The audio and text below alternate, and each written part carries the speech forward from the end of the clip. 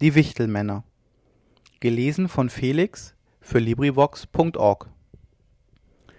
es war ein schuster ohne seine schuld so arm geworden dass ihm endlich nichts mehr übrig blieb als leder zu einem einzigen paar schuhe.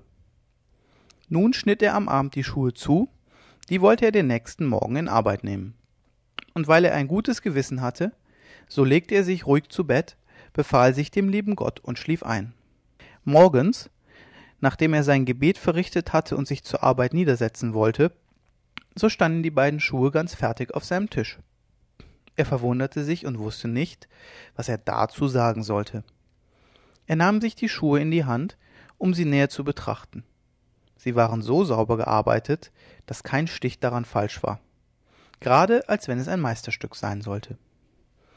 Bald darauf trat auch schon ein käufer ein und weil ihm die schuhe so gut gefielen so bezahlte er mehr als gewöhnlich dafür und der schuster konnte von dem geld leder zu zwei paar schuhen erhandeln.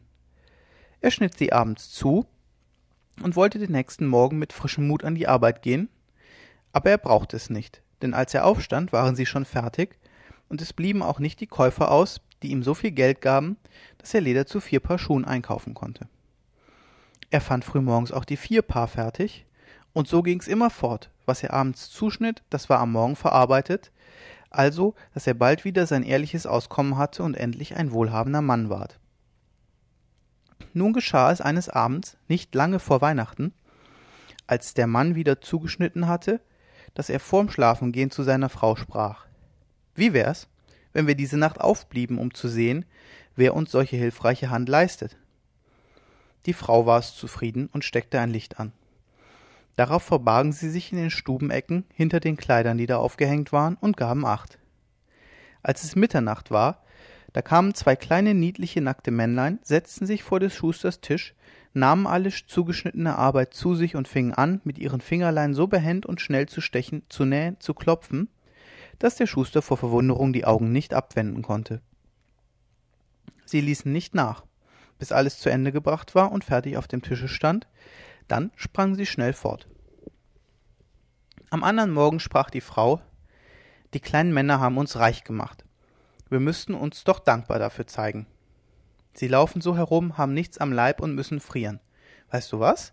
Ich will hemdlein rock wams und höslein für sie nähen auch jedem ein paar strümpfe stricken. Mach du jedem ein paar schülein dazu. Der mann sprach das bin ich wohl zufrieden und abends wie sie alles fertig hatten legten sie die geschenke statt der zugeschnittenen arbeit zusammen auf den tisch und versteckten sich dann um mit anzusehen wie sich die männlein dazu anstellen würden. Um mitternacht kamen sie herangesprungen und wollten sich gleich an die arbeit machen. Als sie aber kein zugeschnittenes leder sondern die niedlichen kleidungsstücke fanden verwunderten sie sich erst. Dann aber bezeigten sie eine gewaltige freude. Mit der größten geschwindigkeit zogen sie sich an strichen die schönen kleider am leib und sangen sind wir nicht knaben glatt und fein? Was sollen wir länger schuster sein?